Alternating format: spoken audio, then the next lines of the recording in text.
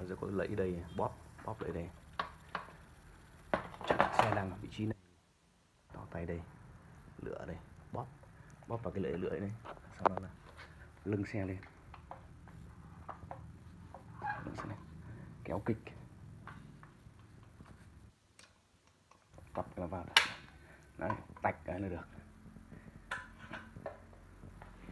Khởi động. Giữ này, một lúc này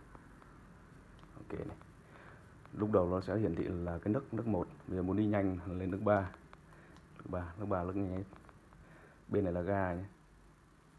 Ga ga là phải chớn một tí thì thì thì bắt đầu ga nó mới vào điện. Còn bên này là phanh phanh đây.